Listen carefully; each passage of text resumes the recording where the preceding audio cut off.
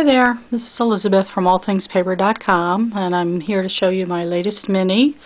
It's um, a little bigger than the other minis I've made, the little tiny envelope minis. Um, I love this thing, I loved how it turned out. I'm going to bring my camera in and set it down so that I can show you this way. I wanted to give you a full shot of it because it's um, bigger. Anyway, this is the cover and what I did is I used um, the Hidden Hinge system by Kathy Orta. I use that kind of binding system using um, envelope, large envelopes and for each page and there are six pages inside plus the, the cover. Now the outside I used chipboard that I covered and then this is here on the binding part. This is uh, canvas that I painted with uh, beautiful Lumiere paint. So the overall size of this is uh, 7 inches, uh, 5 by 7, so that it fits the 4 by 6 pictures perfectly. So anyway, uh, on the cover here you can see, I love this. Um, this is says Old Curiosity Shop, and you can't see it in this, but it's got a shot, just a nice little bit of glitter. I didn't go overboard with the glitter, but just a nice amount. And this is a window that I made using the Tim Holtz die, and can you see I put the crackle? So it's got that old-fashioned look to it. And I made this little um, flower box here. I didn't use a die I just cut it. And again I used that crackle paint. And the flowers are a combination. About half of them are the Prima flowers. And then the others I made using the Cheery Lynn um, miniature rose die and put it together. So that's these little ones here, and these are the Prima flowers here. And this is a wonderful lion's head that I put um, on there. I made this out of uh, paper clay that I rubbed with uh, Gilder's paste. And let's see, this I made, um, this is from this was shiny silver and I made it look old-fashioned with paint and uh, then and rubbed some rust gilder's paste on it and so on. And the eyes are from the uh, graphic 45 this whole book is from the graphic 45 papers the old curiosity shop papers which is my favorite line. Over here are some uh, charms that I made. This is from a uh, Home Depot laminate sample that I altered and I added those tiny little beads, the B-E-E-D-Z beads. And uh, this is a paper charm that I made. And this is a Tim Holtz charm. And these are the uh, clocks, clock handles. And this is just a pretty shiny bling.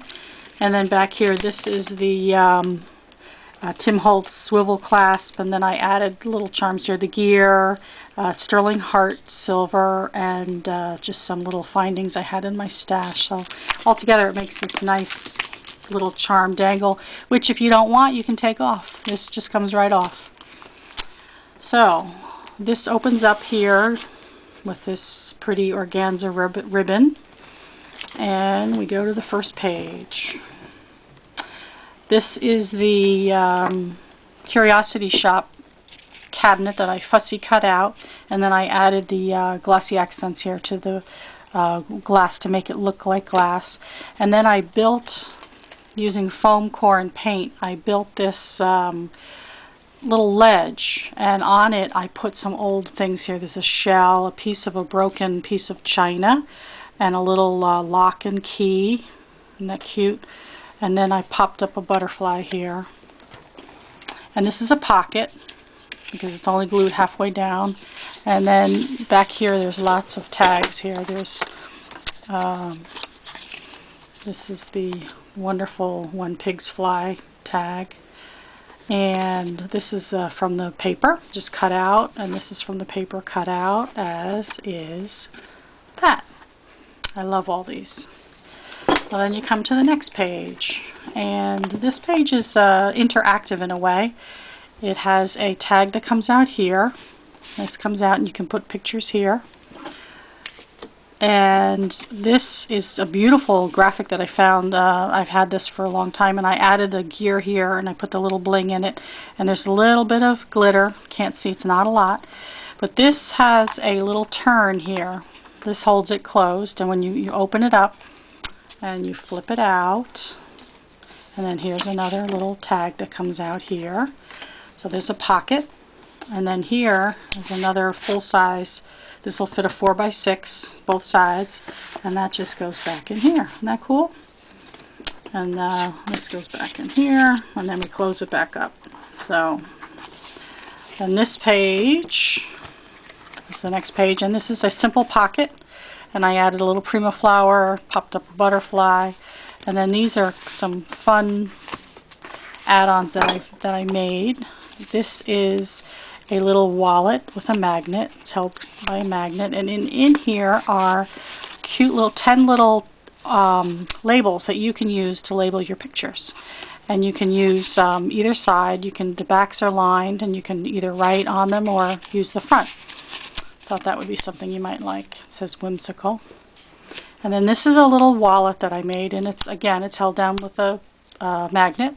And you open it up, and inside here are two little pullouts.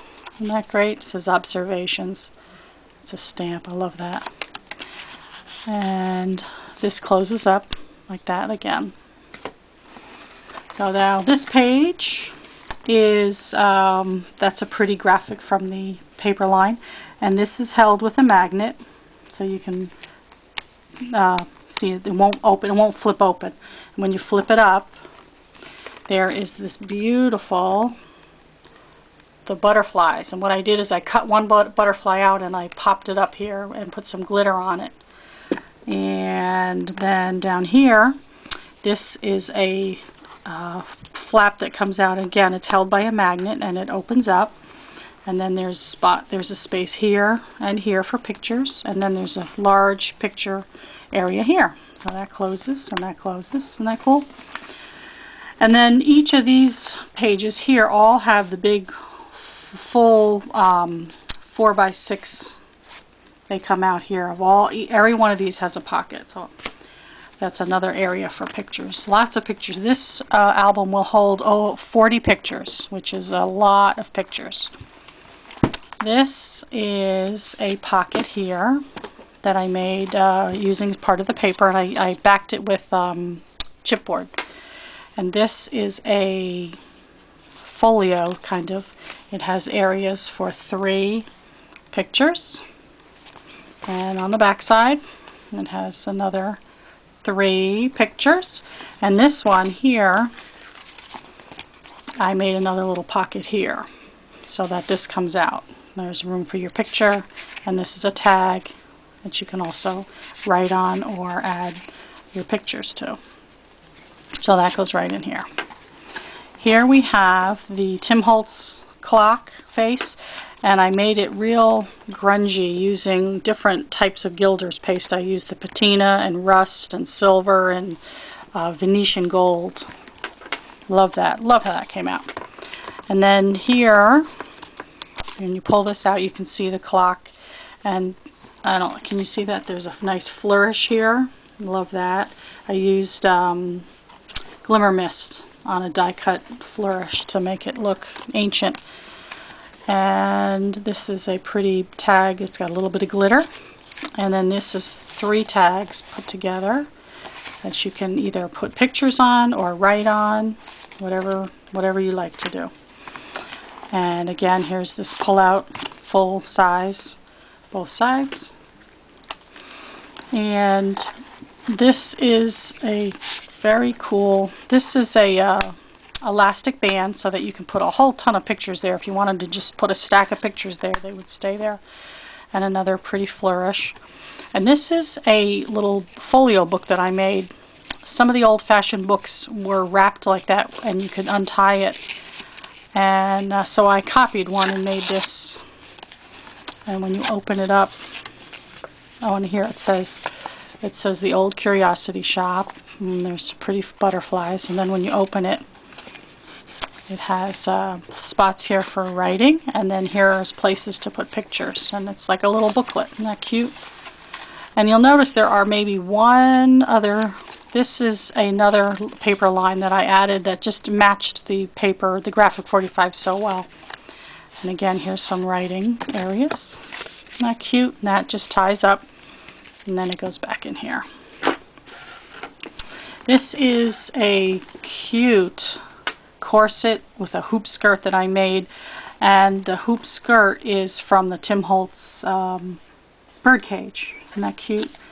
And I only glued it halfway down so it becomes a tag area pocket.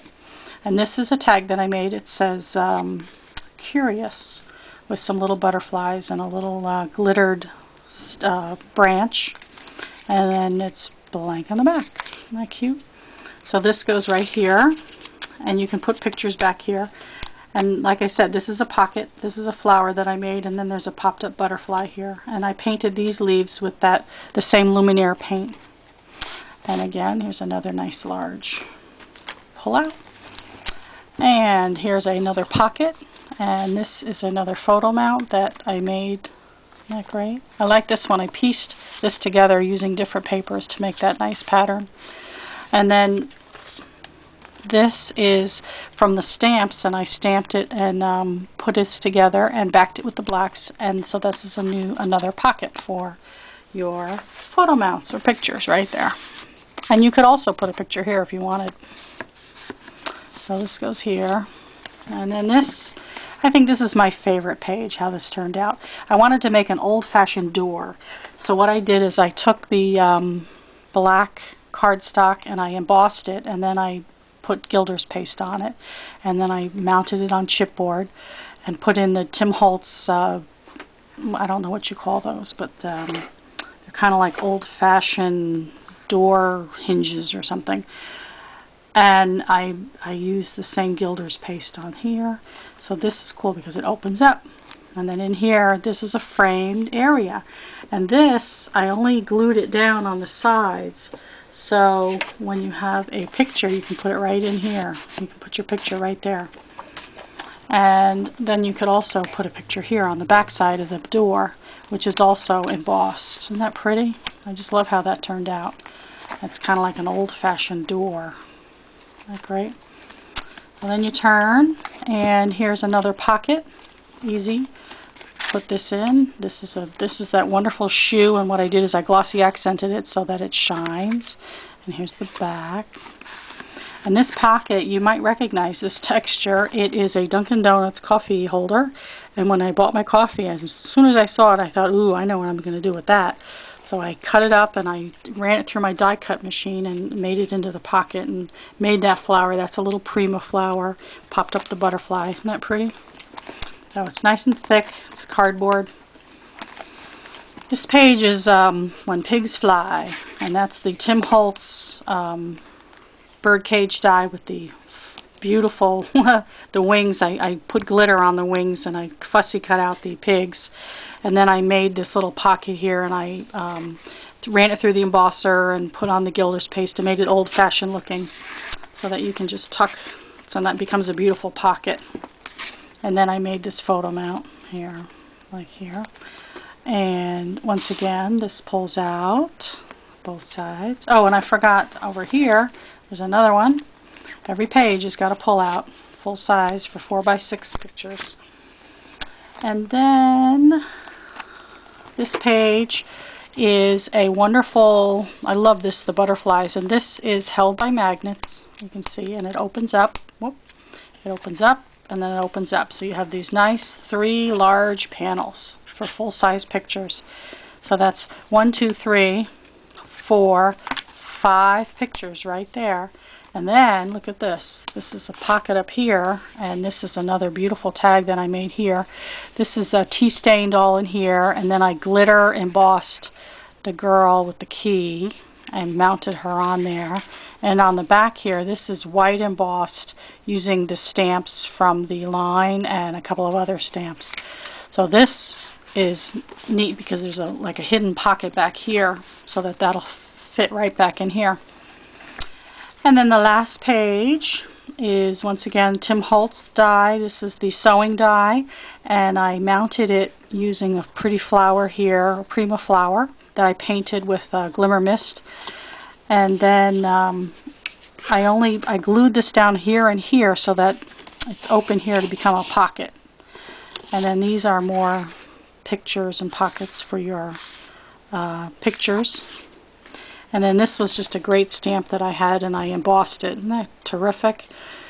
And then we come to the last page, which just has my little logo on it, and that's the back is plain.